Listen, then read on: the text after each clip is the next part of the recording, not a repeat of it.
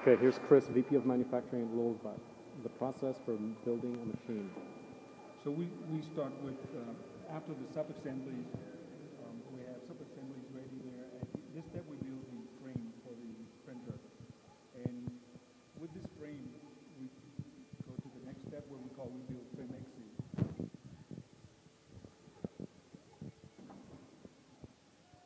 And the frame, when it comes here, it's only a frame with no um, uh, X and V with uh, axis. And This, this station where we put the X and V axis on we call frame axis. And the machine that we build, put together here, uh, one Correct, yeah. Here, the X, the X motion and the motion axis got put on. And also the, uh, the controller box also got put on here. This is all the old threaded rod. Right, there's a threaded rod, there's a smooth rod. And see this sub-assembly right here, the printer head, that was built uh, by one of the sub-assembly stations uh, upstream. And from here, from here, we have a station in there, but that we've not made one ready. Okay, next. So this is our what we call final assembly station. That's where we put the y-axis on, and also we wire the whole machine.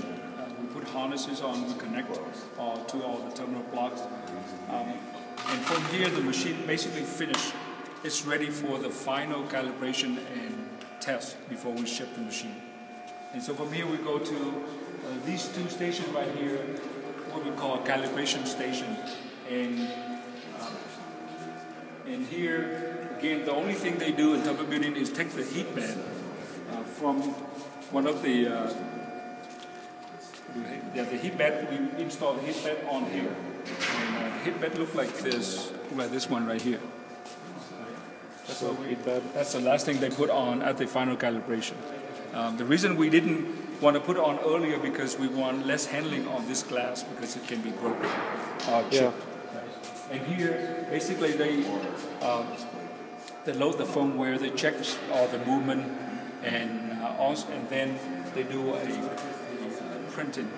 Uh, they bring when they when they finish the calibration, make sure that the um, uh, the amount of uh, they calibrate the amount of, of material coming out to be, to be correct.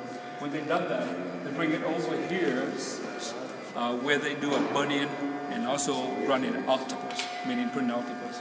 So the burn-in take about let's say 40 minutes, burn the machine in, uh, make sure there's no problem, and then we print an, an, an octopus. Uh, that is our final step. Each of these steps is 40 minutes and under, right? Yes,